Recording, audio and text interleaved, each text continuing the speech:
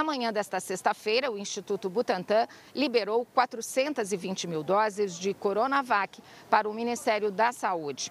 Essa liberação faz parte da primeira encomenda ainda feita pelo Ministério da Saúde, uma encomenda de 46 milhões de doses que deveriam ser concluídas hoje. Mas como os insumos farmacêuticos que vêm da China atrasaram as entregas, a conclusão do pedido do Instituto Butantan com o Ministério da Saúde também sairá com atraso. Na próxima semana, mais um milhão de doses devem ser liberadas.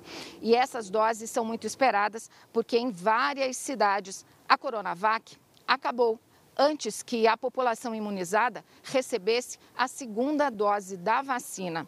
Mas o secretário estadual da Saúde voltou a reforçar que as pessoas devem sim tomar a segunda dose, mesmo fora dos prazos, assim que possível.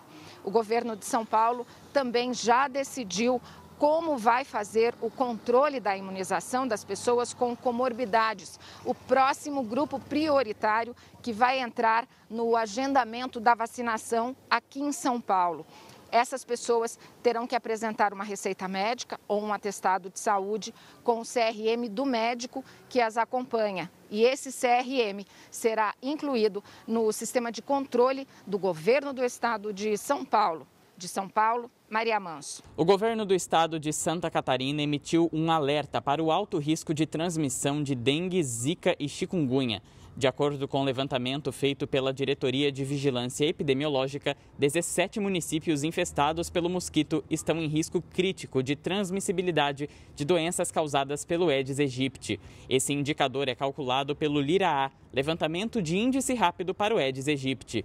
No total, foram inspecionados mais de 90.700 recipientes com água em 105 cidades consideradas infestadas. Desses, 40 mil foram considerados como focos do mosquito, um aumento de 34% em relação ao ano passado.